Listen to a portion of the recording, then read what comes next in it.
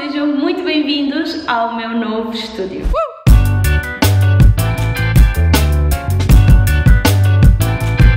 Hoje estou particularmente entusiasmada porque vou partilhar com vocês uma tour pelo meu novo estúdio. Ele está praticamente vazio neste momento e eu já fiz algumas obras e portanto vou-vos mostrar um bocadinho antes e depois para vocês poderem ver e vou também continuar algumas coisas que ainda não estão terminadas. O estúdio provavelmente vai ficar pronto no final desta semana, porque vou ter no sábado cá o meu pai a ajudar-me com outras coisas que eu não consigo, como canalizações e assim, mas eu queria desde já mostrar-vos um bocadinho o antes e depois das obras maiores que nós já fizemos e continuar um bocadinho na casa de banho, porque eu hoje vou pintar o chão da casa de banho e também um dos frisos do azulejo e será o final de pinturas e de obras assim mais densas que nós vamos fazer por aqui e assim fica já este segmento despachado e eu também assim posso partilhar com vocês. É sem dúvida para mim um marco importante porque é dar início a mais um novo ciclo da minha carreira, da minha profissão, do meu trabalho, por isso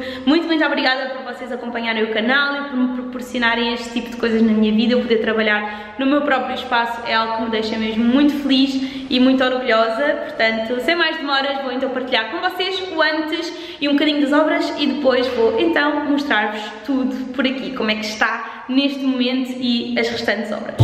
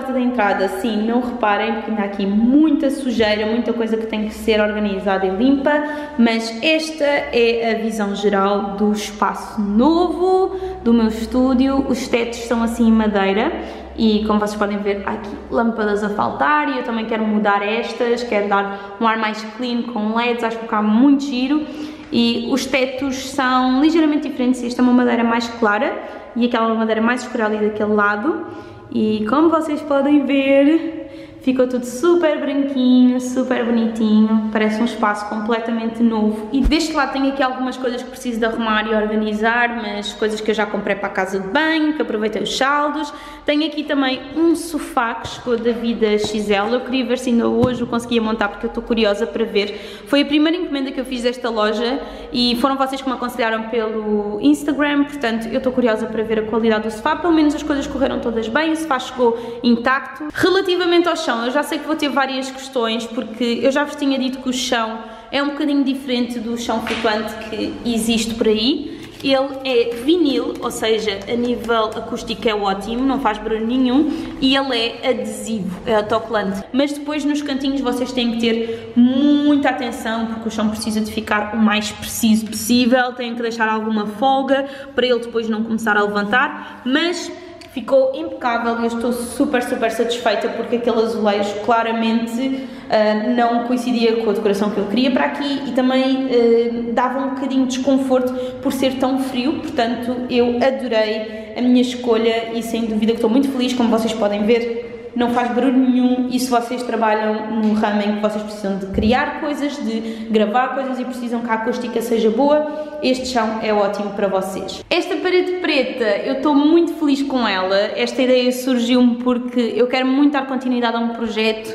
que ficou assim meio suspenso e acho que vocês já conseguem perceber mais ou menos do que estou a falar, mas a minha ideia é permitir que as pessoas que venham cá também possam assinar e escrever nesta parede. Acho que vai ser um bom touch e uma boa vibe, principalmente para as pessoas que apoiam o meu trabalho, que vêm cá gravar colaborações comigo, quer que seja. Acho que vai ser uma parede muito especial e que vai trazer coisas muito boas, portanto esta será uma parede assim com um toque mais especial. E depois temos aqui a entrada da casa de banho, como vocês podem ver, eu pintei tudo de branquinho, isto antes era castanho, como vocês puderam ver pelas filmagens. E agora a minha ideia, e é isso que eu quero concluir agora com as pinturas, é pintar o chão de ardósia preta. Eu vi este DIY uh, eh, no Pinterest e eles dizem que a ardósia é fixe para pintar chão ou mosaico de casa de banho porque ele é impermeável. E eu como não gosto muito dele e como vocês podem ver ele já está um bocadinho degradado, eu vou pintá-lo tudo de preto para ir aqui pela vibe também que já colocámos aqui fora.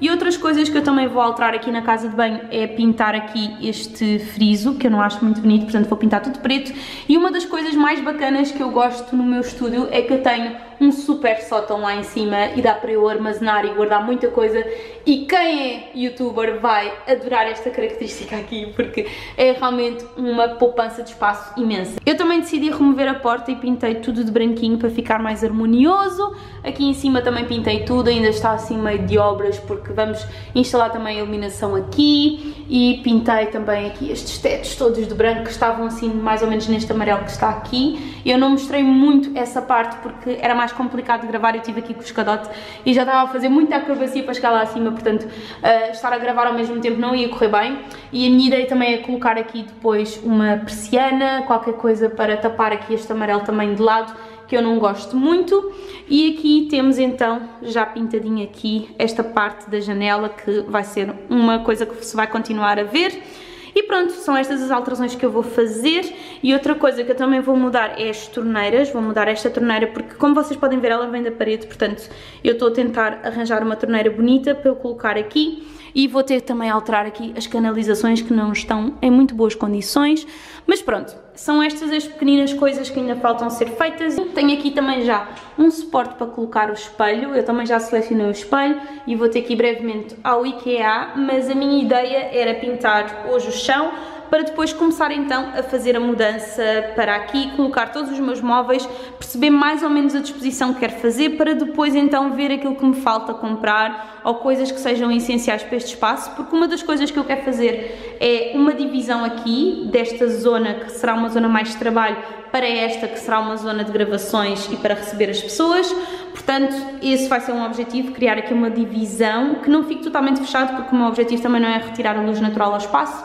mas ainda estou a pensar em algumas soluções, na maneira como vou fazer. E é isso. Acabei de dar a primeira de mão e como vocês podem ver no azulejo azul ele ficou logo praticamente opaco, aqui no, no azulejo branco ainda está aqui com algumas falhas, portanto vamos ter que passar uma segunda camada, mas eu estou a gostar muito mais de ver assim visualmente a casa bem com o chão preto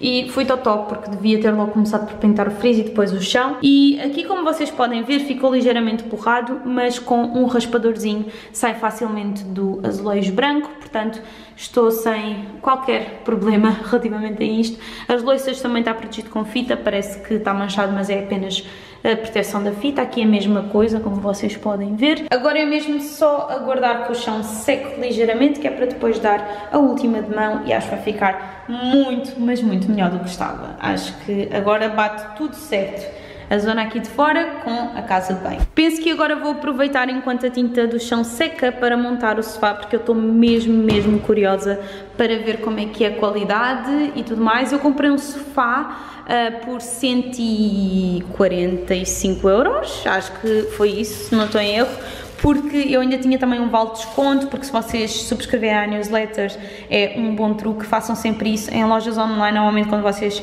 subscrevem às newsletters vocês têm direito a 5 euros de desconto ou algum desconto uh, dentro dos valores das coisas que vocês querem comprar, portanto é ótimo, fica a dica, é a partir de 100 euros que o vale é válido, mas se vocês comprarem várias coisas obviamente que 5 euros já faz alguma diferença. E isto acontece em praticamente todas as lojas, portanto antes de comprarem subscrevam sempre a newsletter porque normalmente há sempre um valezinho de desconto para vocês.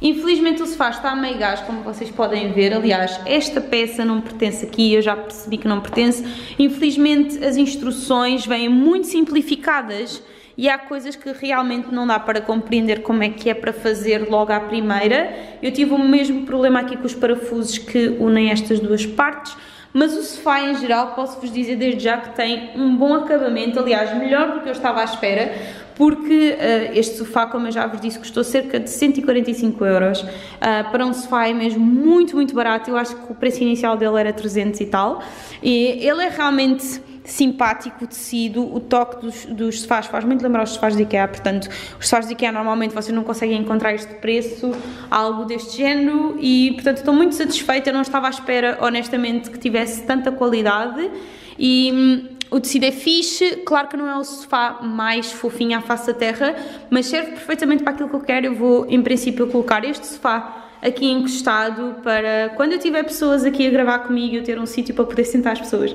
porque era um dos grandes problemas que eu tinha no escritório antigo, eu não tinha sítio nem espaço para poder sentar outras pessoas que fossem colaborar comigo, aliás as pessoas que colaboraram comigo no passado dividiram a poltrona comigo, uma poltrona que é só para uma pessoa, portanto este era o meu grande objetivo, era adicionar o sofá, mas pronto, vai ficar aqui em stand-by, eu vou buscar então a encomenda, também estou curiosa para ver como é que vai estar a impressão do novo logo, e estamos assim, tudo um pouco desarrumado neste momento. Pessoal, já estou de volta, entretanto aproveitei também para parar em casa e almoçar, trouxe mais umas coisinhas para cá que tinha já em casa para selecionar, também trouxe a encomenda que fui buscar, que é o novo logótipo, vamos ver depois para ver como corre, se está tudo ok. E vou agora muito rapidamente tentar terminar este sofá Fui também buscar o aquecedor a casa, este aquecedor mais pequenino, porque aqui já está um bocadinho mais fresco, não bate muito sol aqui durante o dia, portanto agora sempre ficar um bocadinho mais frio aqui dentro. E como tenho o chão da casa banho a secar, queria mesmo ver se hoje ficava ok para depois começar a raspar as paredes, ou seja, a tinta que ficou na, nos lados da parede, mas eu vou-vos mostrar como é que está. E realmente está muito bonito o acabamento. Tenho aqui as tintas que, entretanto, já não vou necessitar delas, felizmente, porque o chão está impecável. Só mesmo agora com a cantinha dar os últimos toques. E vamos passar para o nosso amigo sofá.